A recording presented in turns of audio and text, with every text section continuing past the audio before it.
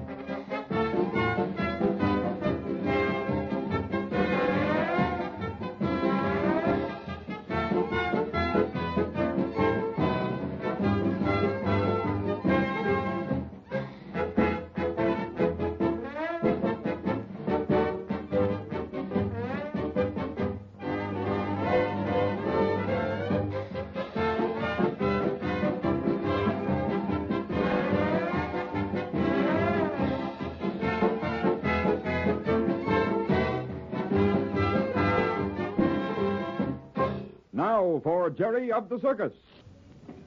Well, the tents are all up and ready for another day's work, Rags. You know, I never get tired of watching them set up.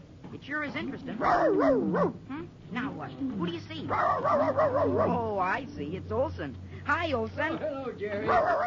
Rags, come back here. Don't bother Olson. Come Oh, on. oh, oh, he's no bother, Jerry. I'm just about all finished taking care of the bulls for this day anyway. Hiya, fella. Kinda glad to see me, ain't you? You got a late start this morning, didn't you? Yeah, yeah. Yeah, we're a little late getting over onto the lot, but you notice we're ready on time. I just can't figure out how you do it so fast. Getting a circus ready for a show is just like building a big city. You do it in a couple of hours. yeah, almost like magic, ain't it, Jerry? Sure is. Well, I'm uh, heading for the mess top to take on a little more coffee. Do you want to come along? No, I think I'll go over and see Mr. Randall. Huh? I want to find out if they picked up that counterfeiter yet. Oh, you mean that uh, feller with the funny name that was uh, hooked up with Velko, the strongman? huh? Yeah, What was his name again? I heard it, but it was too odd for me to remember. Tonetti, Slippery Tonetti. Oh, yeah, oh, yeah, that's it, that's it. Why, I heard somebody say, let's see, who was it now? Oh, well, it don't matter, but someone said that Mr. Randall got a phone call from that uh, detective that was traveling with us. You mean Mr. Hadley? Yeah, yeah. He told Mr. Randall all about how they captured this uh, Tonetti fellow. He did. Uh-huh. Hey, I'm going to get right over to the office wagon and find out about it. Still playing detective, huh, Jerry? Well, I'm especially interested in this case. You are, huh? Uh, see you later. Come on, Rags. All right, so long, Jerry. Here, Rags. Over this way. Come on. Mr. Randall, it's me, Jerry. Oh, come in, Jerry. Come in. Wow. Hey, you're all excited, aren't you? And poor Rags is even panting. Well, I ran all the way over here the minute I heard. Oh, heard what, Jerry? Well, Olson just said you got a phone call from Mr. Hadley. Oh, that. Yeah, yes, yes, it did. Well, uh, I wanted to hear all about it. All right, sit down, Jerry. Okay, lay down there, Rags. poor Rags is puffing like a steam engine. Oh, he'll get his breath in a minute. Uh, tell me, did they get Tonetti? Yes, sir. Picked him up at the post office in Silver Springs when he called for that package of counterfeit money. And what else? Well, Jerry, it seems they questioned Belko quite a bit and got him to talk. I didn't think he'd be hard to handle. Well, what did he say? Did he tell the truth? And did he say that Spike didn't have anything to do with him or Tonetti? Well, uh, you know, of course, that uh, Mr. Hadley thinks that Spike was mixed up with him. Yeah, I know he does, but I don't. Mm-hmm. Uh, well, uh, tell me uh, what Belko said. Well, I guess I'll have to break down and admit that uh, you were right again. What do you mean? Although I was inclined to agree with you right along. Yeah, Well, Belko admitted that he planted that counterfeit money in Spike's mattress. he did. Uh huh.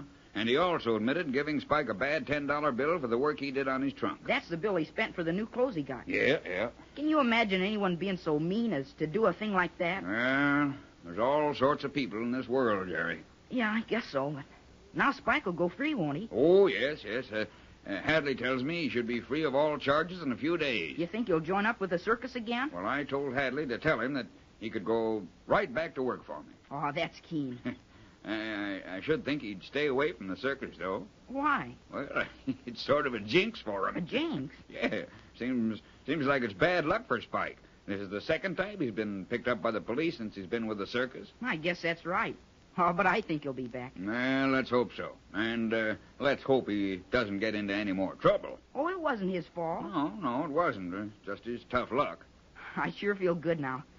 Lucky I spotted Tonetti with Belko the other night, wasn't it? Well, you bet it was.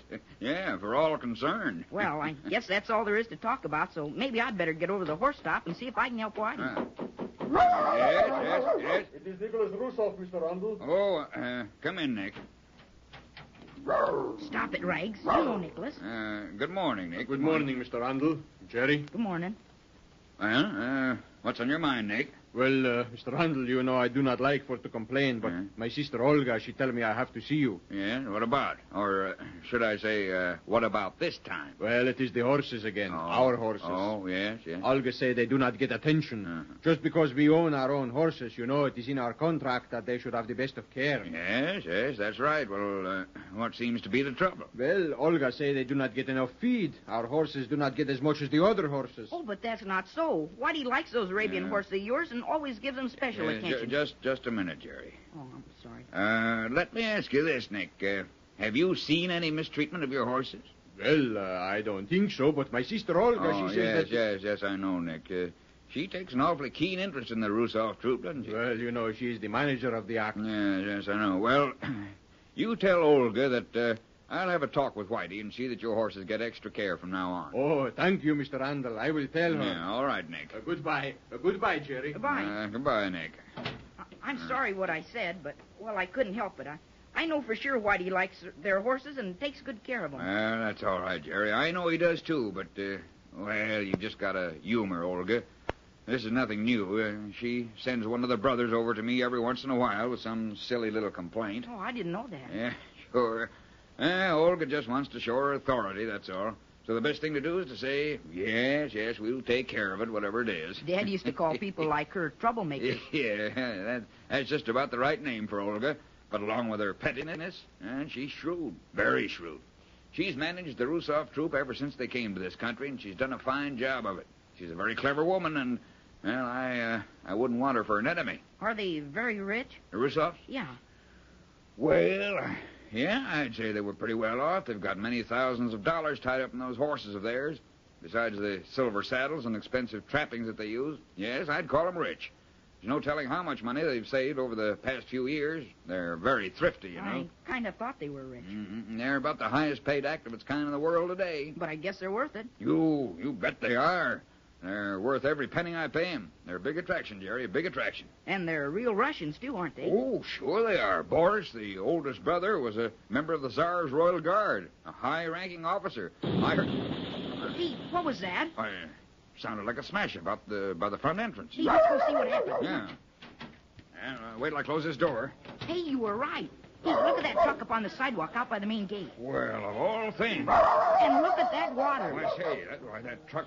Why, that truck broke off a fire hydrant. See, this is bad. The whole lot will be flooded the way that water's pouring out of that hydrant. Hey, here, Rags. You stay right by me. Come on. Bad, Mr. Randall. No way to turn that water off. Uh, Larry, John, uh, get some sandbags and uh, put them all along the sidewalk. That water will get into the main top, and we won't have a matinee today. okay. There must be some way to shut that water off. how did this happen? Any of you men know? Well, the fellow was driving the truck, said he lost control. The first thing he knew, he was up on the sidewalk. Uh, just our luck he had to break off that fire hydrant. Pretty bad, all right, and that water's coming out pretty fast. Uh, one of you men run across the street to that store and call the fire department. Yes, yeah, sir. Yeah, and call the police department, too. I'm afraid the whole lot will be flooded. Yes. We can't put on a show with the arena track underwater. Oh, say, this is awful, Jerry. Can I do something to help? No, no, no. There's nothing, uh, nothing can be done until the fire department gets here. Well, they'll have a way of stopping it, I hope. The water must be pouring out of there about 50 gallons a minute. Of all things, a broken fire hydrant and right in front of the big top.